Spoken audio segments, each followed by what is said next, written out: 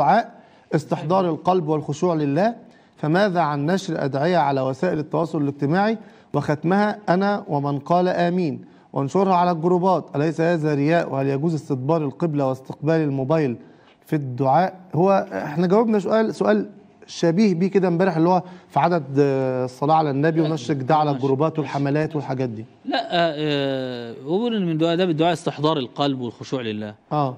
والله ده موجود في أي حاجة. يقول لك طب والنشر الحاجات على الجروبات وانشرها؟ ما هو ده أدب مطلوب لكل اللي هيقرأ. أيوه. فأنا بنشر ده على الجروبات أو على الإنترنت أبقى مستحضر القلب وخاشع. تمام. الباقيين بقى اللي بيقرأوا عليهم نفس الأدب. مش دعاء جه ف copy paste share حول لا، ارمي لازم طبعاً. وخلاص. من غير ما أعرف أصلا أنا ببعت للناس إيه. لا أقرأ وأتأكد من صحة اللي ببعته واللي يعمله. ده أمر. طيب أنا ومن قال أمين. آه إيه المشكلة؟ أيوه اللهم استجب أنا ومن قال آمين. يعني يكتب لي الأجر. أيوه لا حرج على فضل الله. تمام. وانشره على الجروبات وماله. الدال على الخير له من الاجر مثل الاجر فاعله كما قال صلى الله عليه وسلم. وتعاونوا على البر والتقوى كما قال تعالى.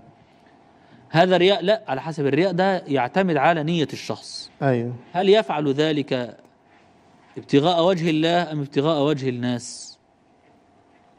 طيب هل يجوز استدبار القبلة واستقبال الموبايل الدعاء لا مانع.